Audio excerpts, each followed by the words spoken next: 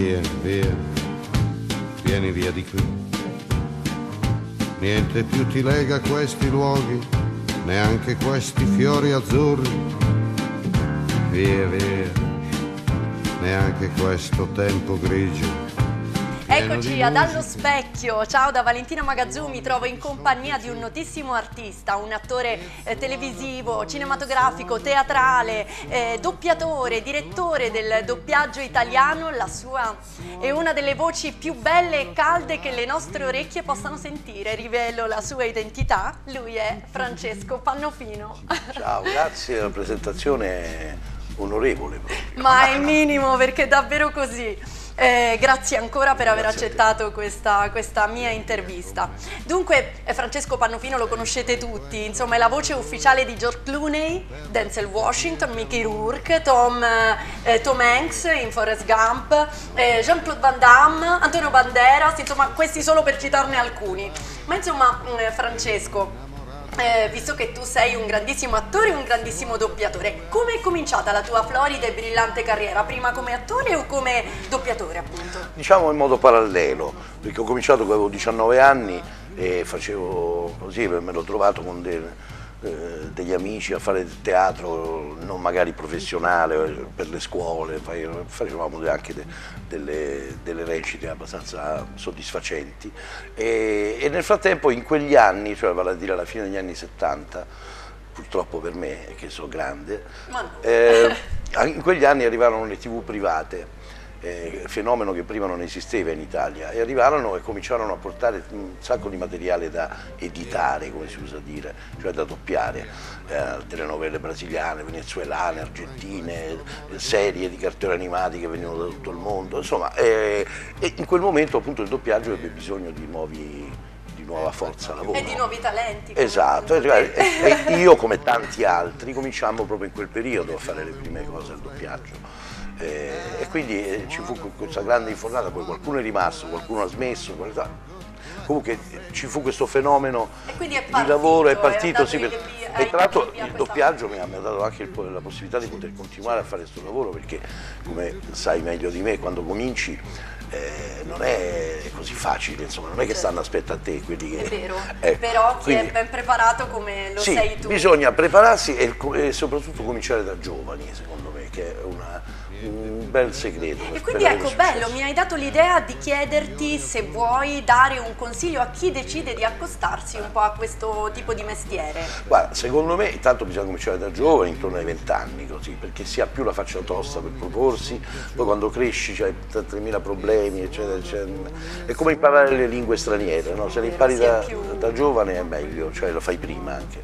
E poi soprattutto cercare dentro di sé il talento, cioè stabilire se uno, perché per fare questo lavoro bisogna esserci portati, bisogna avere comunque un talento, una capacità che poi si può affinare con lo studio, con il lavoro stesso, eh, poi non si finisce mai di imparare naturalmente, però bisogna avere un talento di base, una, esserci portati, e, e, questo solo la persona, solo le, le, la persona interessata può saperlo, perché eh, le prime volte si può anche sbagliare, non è, non è che al primo ostacolo bisogna fermarsi, eh, però bisogna avere il talento, cioè bisogna esserci portati. Eh, per esempio io da bambino, no? sì.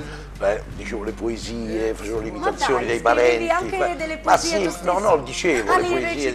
Cioè, quello, sì, è, quando andavo a scuola, se c'era la recita, la cosa, facevo sempre il protagonista. Cioè, quindi voglio dire, è un qualcosa che ti porti dentro da Sì, che ce l'ho portato, cioè che, sì, che ti diverti a fare le imitazioni, a raccontare barzellette, cioè, voglio dire, non, non sempre. Eh, perché Sicuramente primeggiavi. Esatto. Comunque poi c'è la timidezza che gioca anche un ruolo importante. Eh, tante volte ci sono i talenti veri che però per timidezza non riescono a esprimersi. Allora, poi, tu come ti consideri? Io tipo... ero super timido, alla, eh, ero adesso ormai purtroppo sparita completamente e... Beh, perché magari con l'esperienza... No, è il teatro, il teatro ti, ti fa saltare quell'ostacolo che è la timidezza. Cioè perché una, una, volta che tu sei timido davanti a una persona, ma invece davanti a mille persone non lo puoi essere. Rompi il ghiaccio Rompi il ghiaccio e vai. E io mi ricordo proprio il momento in cui feci uno spettacolo, uno dei primi che ho fatto, che erano delle, degli atti unici di Chekhov, eh, divertenti, e, lo facevamo per le scuole, c'era un casino in teatro, puoi capire i ragazzi che fanno un bordello incredibile. Però riuscivi a trovare comunque la tua concentrazione. Concentrazione poter... e poi piacevo molto ai ragazzi, quindi eh, ai giovani. Eh, che ridevano quando io entravo. Deve essere splendido il rapporto eh. tra appunto gli attori eh. e, ed il pubblico. Esatto, allora lì io mi sono convinto che potevo fare questo lavoro, poi da qui a farlo in modo professionale un po' di tempo è passato, un po' di fortuna che non guasta, non, guasta eh, non bisogna mai buttarla al vento e poi... E impegnarsi al massimo. Eh, questo è anche un altro dei segreti, cioè eh, ogni volta che uno è chiamato a fare una cosa anche piccola, dare il meglio di se stessi in quel momento, non prendere mai sotto gamba e impegnarsi, perché chi ti poi ha il potere, cioè i registi, i produttori che hanno il potere di scritturarti, apprezzano molto l'impegno, apprezzano, eh, cioè, ci sono anche delle, dei casi in cui ci sono vabbè, raccomandati, le cose, ma quello è, cioè, non è che è normale, non dovrebbe essere, però quindi se uno vale, prima o poi va, capito? Perché c'è bisogno di, di, gente che faccia poi gli spettacoli. E poi prima o poi ci si accorge dei talenti Appunto, veri. Esatto, poi eh, un altro segreto è non far perdere troppo tempo, soprattutto sul set, no? quando giri un film, se tu arrivi la sai e sei preparato e la fai subito, il produttore ti adora, perché il tempo è denaro, come si sa. È vero. E senti Francesco, visto che appunto tu hai tantissima, tantissima esperienza nell'ambito del doppiaggio, del teatro, del cinema, della, delle fiction, quindi produzioni televisive, poi dai appunto quest'anima interpretativa a numerosissimi attori di madrelingua straniera, quindi un artista vista proprio davvero eh, eh completo a 360 gradi. Ci vuoi dire quali sono secondo te le peculiarità di ognuno di questi ambiti? Sì, eh, è una bella domanda perché sono diciamo, specializzazioni di comunicazione diverse tra loro, anche se poi alla fine l'attore sempre battute deve dire, al doppiaggio le legge che non c'è bisogno di imparare a memoria, eh, a teatro devi imparare a memoria tutto il copione e fare un mese di prove e poi andare in scena, al cinema fai un 30 secondi di film al giorno, un minuto, to, eh, poi sulla, le varie ripetizioni. Le varie ripetizioni eccetera, anche lì bisogna essere preparati e concentrarsi all'ultimo momento. Avrai eh, una memoria di ferro? Beh, se, per quanto riguarda il teatro e il sì, cinema? Sì, ma la memoria è un muscolo che, si, che più, più, lo alleni e più memoria hai, eh, cioè la memoria è veramente una, è una questione di abitudine. L'esercizio è importante. Di allenamento, sì. E poi ecco, ieri ero al telefono con una mia cara amica, dicevo domani devo intervistare Francesco Fannofino, che bello, non vedo l'ora. Uh, Boris, io lo vedevo eh. sempre, Boris, insomma, quello ovviamente... È, per esempio, quello che è stata anche una delle mie fortune, diciamo. sì. eh, lì c'era un personaggio che era il mio, René Ferretti, René Ferretti. Eh, era talmente, eh, ce l'avevo talmente dentro che io non facevo eh, nessuna fatica a imparare a memoria e c'era anche delle sleppe, delle pagine e pagine di, di, monologhi, eh. però non facevo perché era, era scritto mm, mi era scritto in maniera addosso. semplice? Sì, era merito degli autori, cioè era facile da imparare a memoria, vuol dire che il personaggio ce l'ha in pugno. Quando fai fatica, che c'è qualcosa, oppure la battuta non ti viene, vuol dire che non è scritta bene, oppure c'è qualcosa e che non, è fluida, abbastanza esatto, fluida. c'è sempre un problema di solito. Ma infatti sì, eh, eh, tutti quanti i, te i, telespettatori abbiamo apprezzato la tua interpretazione davvero naturale al massimo. Ma eh, appunto tu interpretavi il ruolo di un regista, sì. ma hai mai pensato di fare il regista anche? Sì, ci, ci penso, non è che sono ossessionato. Ti ci vedrei benissimo. Sì. No, lo, lo, farei volentieri, però eh, l'ho anche fatto facendo il direttore di doppiaggio oppure alla radio, ho fatto la regia di alcune eh, puntate di un programma a cui partecipavo. E, ehm, mh, però a parte che lavoro tanto come attore non ho mai tempo neanche perché per fare il regista comunque devi avere tempo per preparare per... e poi aspetto di avere un'idea forte per poter... Ecco, qualora ce l'avessi io eh, concorro per poter essere scelta nel Ti faccio cast. un sì, grazie, grazie Francesco, ma bando agli scherzi che comunque insomma mi farebbe piacere realmente. E parliamo invece di Nero Wolf, che anche quella è una produzione televisiva fortunatissima. E nel 70 so che ehm, era stata, era partita una precedente edizione, no? subito dopo eh, il libro praticamente di questo romanzo. Beh, Rex Stout, che è l'autore che ne ha scritti più di 20, sì. credo, col personaggio esatto. di Nero Wolf al centro. L'investigatore eh, privato sì, che... Sì, l'ha scritti in un arco di tempo di parecchi anni, dal, dal dopoguerra diciamo, sì. fino agli anni 60-70. Poi eh, ne fece una serie... Tino Boazzelli. Tino Boazzelli, la RAI eh, fece... Paolo Ferrari. Tino ecco. Boazzelli e Paolo Ferrari, sì. Eh, che erano Nero Wolf e Archie Goodwin, sì, i due protagonisti. Sì. Però poi è stato chiesto a te di interpretarlo sì, ma 2012. questo appunto dopo 40 anni, 50 anni eh, dalla prima realizzazione, cioè, io e Pietro Sermonti facevamo appunto Nero Wolf e Archie Goodwin. Con cui, con cui, scusa se ti interrompo, avevi già lavorato sì, con in Pietro in uh, Boris, Boris. Sì, che lui faceva um, l'attore uh, Stanis La Rochelle, sì, l'attore diciamo non proprio geniale. E, però Pietro è un grande compagno di lavoro, ho fatto tante puntate di Boris e anche di Nero Wolf, insomma adesso è un po' che non ci vediamo, però ogni, ogni, ogni tanto ci mandiamo i saluti. Ecco, anche lì, no, Nero Wolf, molti facevano il rapporto con Tino Buazzelli, ma era un'altra televisione. Allora, le, prima di cominciare, prima che andassi in onda il nuovo Nero Wolf, tutti facevano il paragone, Tino Buazzelli, qua e là, cioè, per carità con tutto il rispetto, ma era proprio un'altra storia. Certo, infatti cioè, volevo le chiederti storie erano, erano, scusami, erano, eh. le innovazioni apportate a questa nuova invece allora, eh, serie. Intanto era a colori, invece allora era girata in bianco e nero, Sì. era girata tutto negli studi di Via Teulada, Sì, quella sì. la versione degli anni 60 e la nostra è stata girata in studi eh, io la chiamo De Paulis adesso chiamano Sì, in Studios via- in via, via eh, Tiburtina, e girammo tutti gli interni lì Gli studios. Eh, eh, sì. Poi la storia eh, di Nero Wolf era ambientata a Roma nel nostro caso, invece si sa che i, i romanzi e anche la storia sono ambientati a New York, che lui abitava in una casa di arenaria, come si dice. E invece con un escamotage, siccome c'è un fondo di verità, perché Rex Stout, l'autore, fece, eh, durante la guerra eh, è stato a Roma come ufficiale di complemento e quindi diciamo, per un problema con l'FBI gli autori hanno stabilito che Nero Wolf eh, per un periodo era venuto a Roma e continuava la sua attività di investigatore.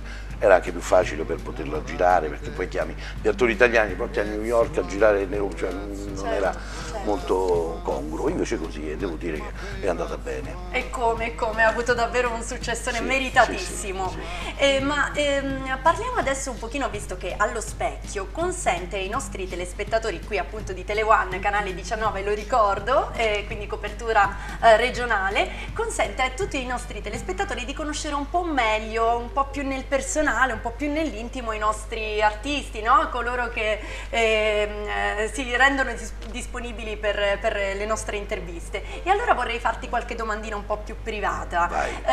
Eh, dunque, tu sei sposato con la bellissima, bravissima, altrettanto bravissima attrice e doppiatrice Manuela Rossi. Esatto. Ehm, quindi condividete la quotidianità, ehm, anche molto spesso le sale di doppiaggio, i palcoscenici teatrali, insomma, com'è lavorare con la propria compagnia di vita? Guarda, ti dico che noi io e Emanuela andiamo molto più d'accordo in scena che nella vita. Ah. Eh, soprattutto condividiamo un figlio che abbiamo insieme che si chiama, Ecco, si chiama? Andrea e ha 19 anni. E come tutti i giovani, soprattutto in questo periodo, vive dei disagi, eh, dei disagi diciamo dal punto di vista del non saper fare cosa fare nella vita, eccetera, ha finito la scuola, eccetera. E Che studi, che studi ha ha, fatto? fa- ha fatto il liceo scientifico e adesso si è preso il famoso anno sabbatico. Eh sì, così magari riflette Eh, un po' su Però sai, essendo, na- sì, infatti, essendo nato a dicembre, diciamo che non è così, non perde così tanto tempo.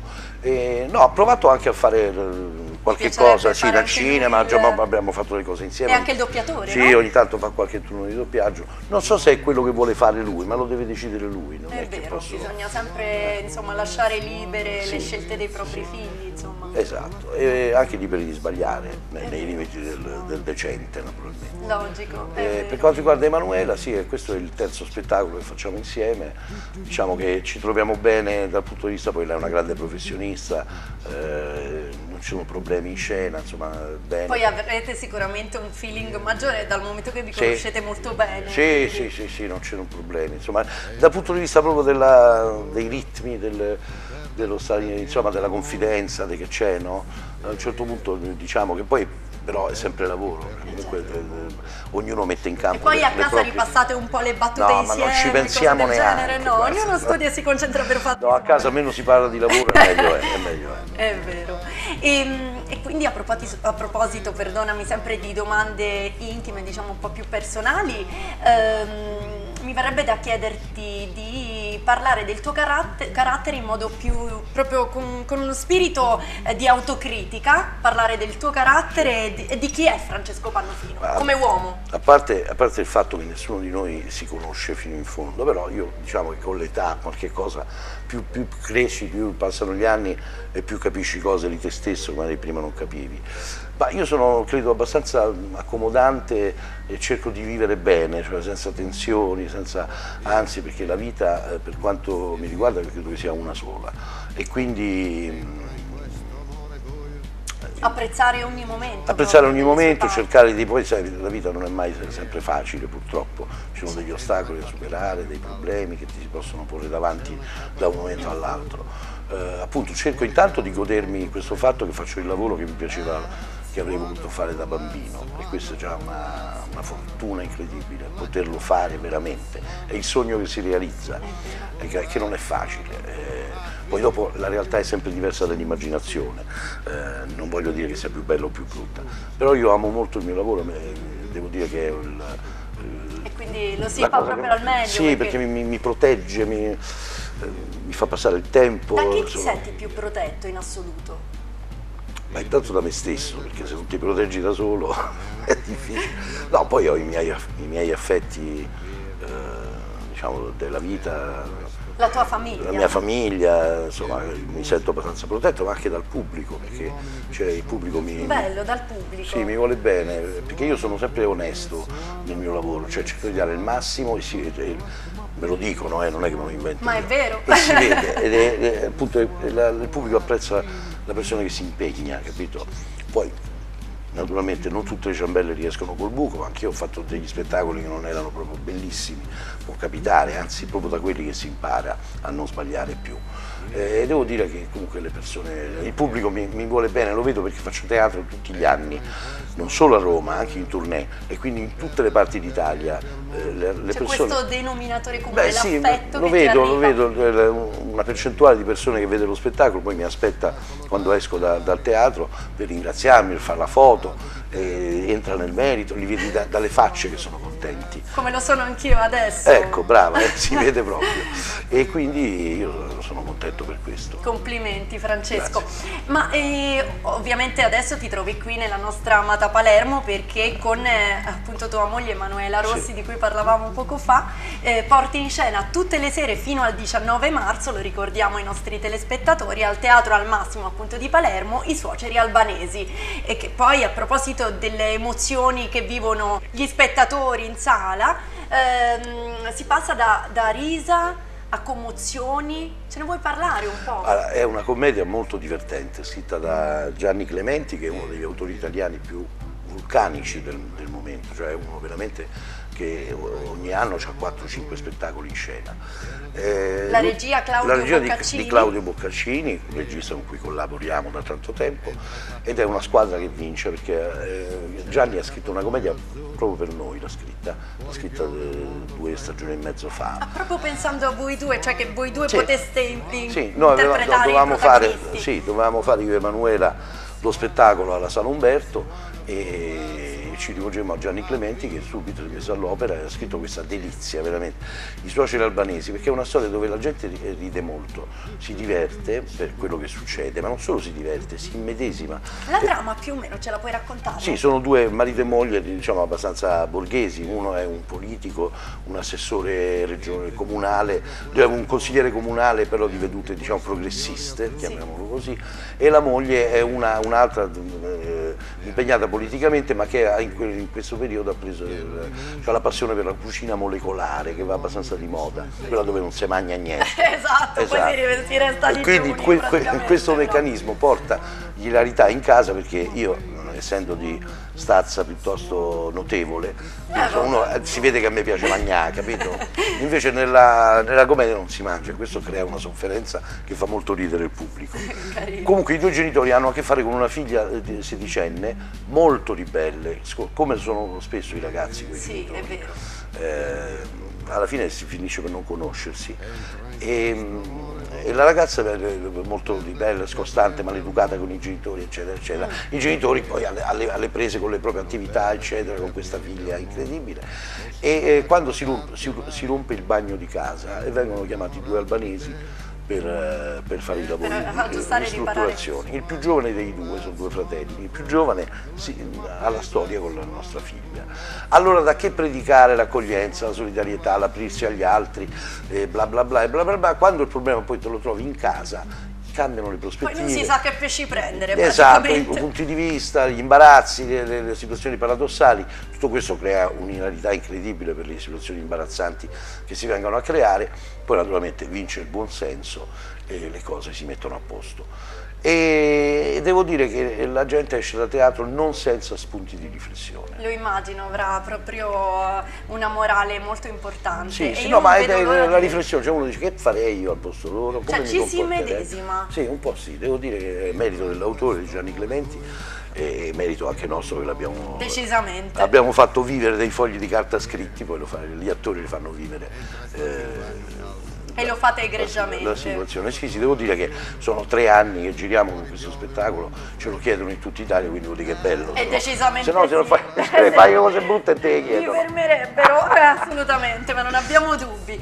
Adesso invece, come di consueto, verso la fine del nostro appuntamento, della nostra intervista, chiedo sempre all'artista che ho l'onore di intervistare di scrivere una frase così d'amblè su questo piccolo quadernetto che conservo gelosamente c'è il segno proprio nel punto libero. Ecco qua. E ti invito a scriversi sì, dove vuoi, anche sulla parte sinistra, dove, dove ti pare, e scrivere un qualcosa che, che ti possa venire in mente adesso e che vuoi, è così, donarci.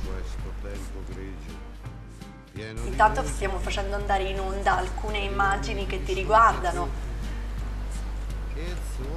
Ecco. Wow, grazie Francesco, leggi pure. Sono stato bene qui, come a casa mia, a mio agio. Grazie Valentina e grazie Palermo per l'accoglienza e l'ospitalità. Viva Palermo! Ma grazie a eh dai, che qua non ce l'ho, ce l'ho. Eh. Grandioso. E allora ti saluto, ti ringrazio ancora. Grazie E alla prossima, comunque ci vedremo al teatro, non vedo l'ora di conoscere anche Manuela. Va bene, ti aspettiamo. Grazie, salutiamo i telespettatori di Allo Specchio. Ciao, Ciao da Valentina e... Francesco Pannofino, ciao, allo specchio, bello. Grazie. It's wonderful, it's wonderful, it's wonderful. Good luck, my baby, it's wonderful, it's wonderful, it's wonderful. I dream of you. Chips, chips. Ganci, bar, rosticceria. Cornetteria gelateria, gastronomia.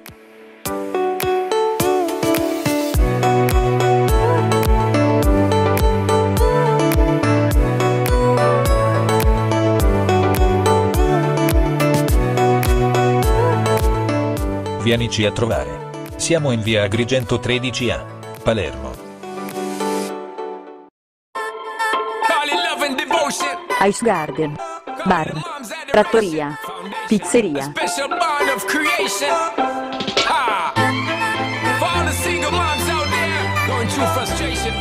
Menù pizza di pesce a 20 euro. Di carne a 18 euro a persona. Giro pizza 10 euro. Ci troviamo in via Vittorio Alfieri, 6A, Piano dell'Occhio, Torretta.